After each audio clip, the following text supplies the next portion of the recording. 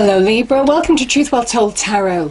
This is your love reading from now to the end of April 2020 as I am releasing these videos a little early. This is for Libra, Sun, Moon, Rising and Venus. So let's see what we have. So I'm using a reading card, not used these in quite a while actually, so be interesting to see what message we get. What do we have for Libra please? Angel Spirits Guides in Love. Now to the end of April 2020. Message for Libra in love, please. Thank you. Patience. Patience. It could be go at your own pace or go at somebody else's pace. This can be allowing things to unfold naturally, Libra giving you or somebody else space and time. Beautiful. But I kind of think when I see patience, it's worth the wait. Okay. Angels, what is the message, please? Angel Spirits Guides for Libra in love. Now to the end of April 2020. What do we have for Libra, please, our lovely Librans? Yeah, it's a kind of a similar message, Libra. we have surrender, and that is just going with the flow. So I'm, I'm kind of thinking this is echoing the patience card as well. Um, it says at times we must surrender the old before something new can enter our lives. Let go and all will work out. Okay.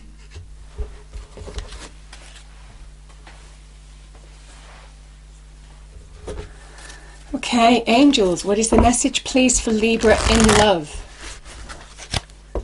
Now to the end of April 2020. Okay, thank you. Okay, we have self confidence through God confidence, and it is whatever God means to you.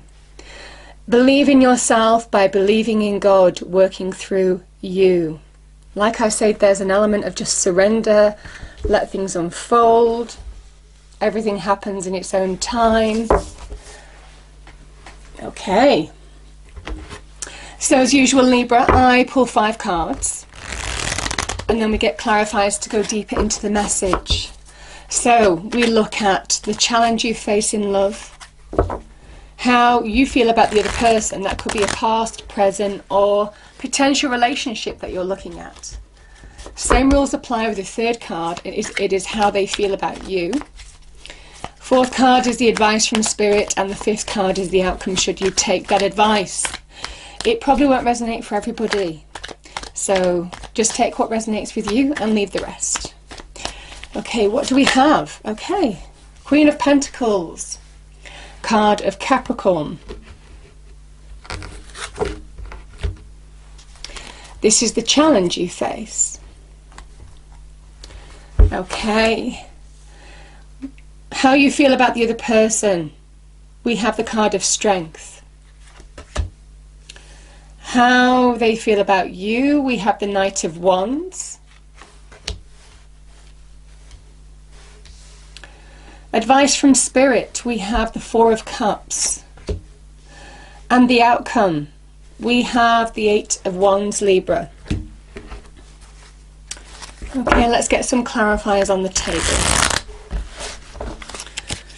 Angel Spirits Guides, can we clarify the cards on the table, please, for Libra in Love? Now to the end of April 2020. What do we have for Libra in Love, please?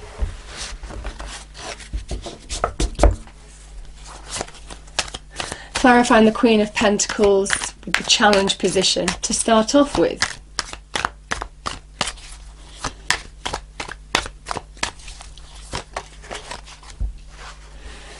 We have the King of Cups, clarifying the Queen of Pentacles.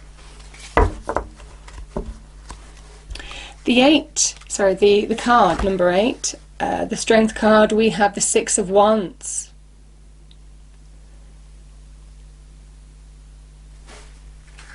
Going to pull one more card.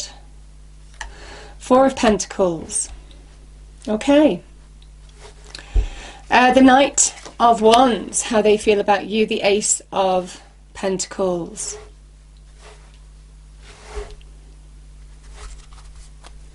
The Four of Cups, Libra, is clarified by the Three of Wands.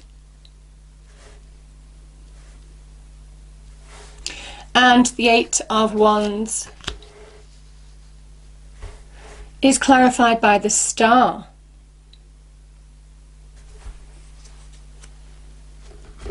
Okay, okay.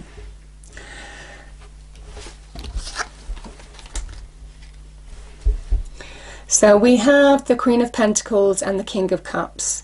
So these are male or female energies, Libra. We have a Scorpio and we have a card of Capricorn here. And the Strength card is a card of Leo. Knight of Wands is a card of Sagittarius. Star card is a card of Aquarius. So sometimes those people might mean, mean somebody or some people in your life. Um, the Queen of Pentacles card of Capricorn, she is patient. And it kind of echoes with the cards that are on the table. She understands how to be patient, trust her instincts, I feel that there is something. I mean, she understands how to bring value, success, material success. She understands how to use her practical abilities, know how, knowledge to focus them and really bring growth into her life. I feel for some of you, you're being asked, what do you want to focus on now? Because there's an opportunity to bring more value into your life. But there's the feeling with the Queen of Pentacles that you have to stay on track.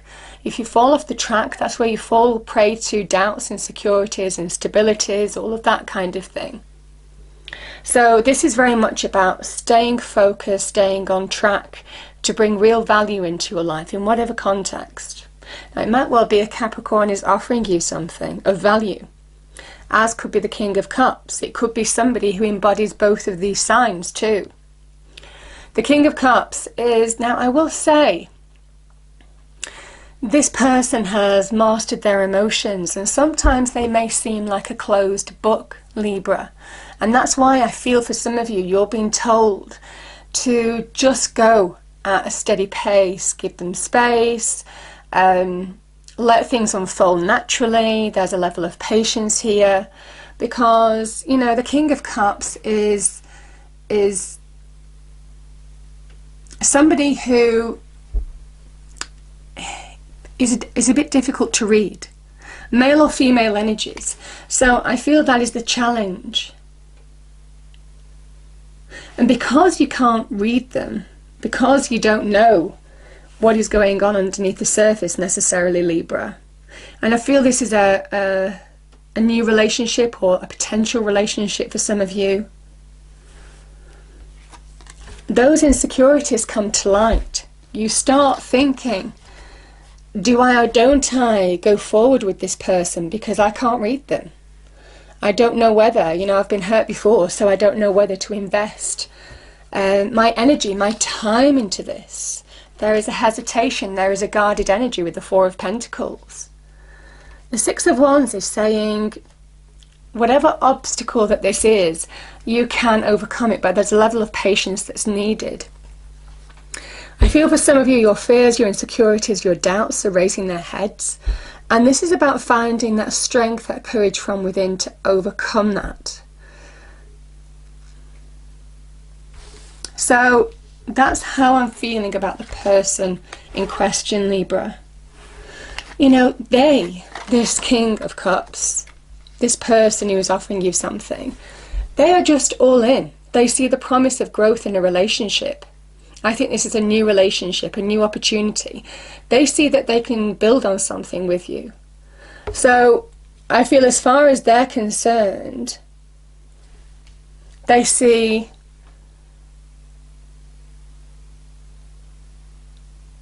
they see your insecurities unfounded. I don't think they realise they're doing it.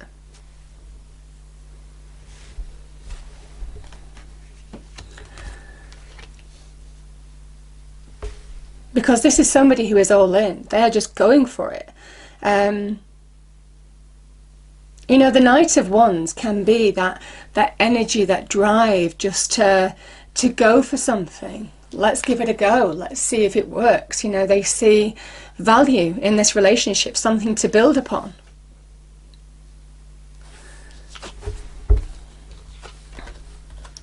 Advice from Spirit is to give it a go. You see, the four of the fours in tarot can be sometimes about reflection, they can be about stillness, uh, contemplation, getting clarity, but they can also be about stagnation and a little bit of holding yourself back through fear. And this is the divine nudge card saying there is something, this opportunity ahead will will be uplifting, is worth a go, Libra. You know, this is when you actually focus your energies, your efforts, begin to allow yourself to go for this relationship. And I feel you are being offered love here. And I feel you're hesitant because you may have been hurt in the past. There is a level of you will get reward. There is reward to this relationship. There is growth in this relationship. It is passionate. It is exciting. It is. Um, it promises real growth and reward. So don't miss this opportunity. That's what I feel some of you are told. And again, the fours, like I said, four of pentacles, four of cups. You may have been burned before in a relationship. And that's why you're hesitating, guarding to do with this person because you can't read them. Um, there's a level of, of you might need to go at your own pace. You might need to be given some space in this area. It might not be the other person, but they're all in. I feel they are all in. They see it as a new adventure. They want to take a new adventure with you. They see it as an opportunity, something solid to build on. So I think they are committed here. I don't think they'll see anybody else.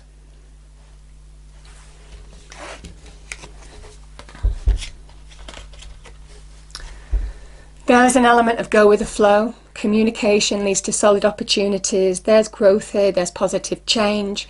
Things can really shift, step up a pace, I feel. Um, you need to get the bigger perspective, see the bigger picture.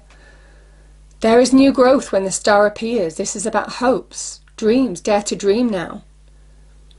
I feel for some of you there is a sense of renewal, something at the beginnings of growth that can really bring and match your hopes, dreams, and reality because that's what the star is. And it's divinely guided energy. So it's such a beautiful energy. I feel things are going to become clear and communication, conversations with this person will probably allow things to step up a pace. But I think it's at first it's just take it slow, and yeah, and I just think things will unfold naturally. It is beautiful, Libra. I'm going to pull the card to finish off the reading. What do we have, Angel Spirits Guides? What is the message for Libra in love now to the end of April 2020?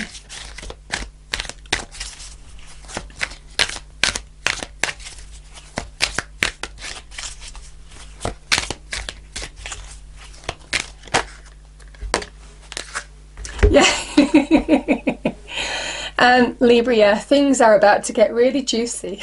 oh, I love these cards. Um, a little heads up on the addiction that afflicts all really old souls. Giving love eventually becomes even greater, an even greater need than receiving love. See, you're not strange. Love the universe. And I do feel there is an opportunity. Things are going to step up pace. There is a promise of re- real growth. We're going from a three of wands to the eight of wands. Um, but this is just overcoming, I feel, your own insecurities, your own fears and doubts, because you don't have a full picture of the situation. But I think you are going to get that. Yeah. I hope you enjoyed the reading, Libra. If you did, please do like, share, and subscribe. I hope it's a wonderful month for you, and I will see you next time. Thank you.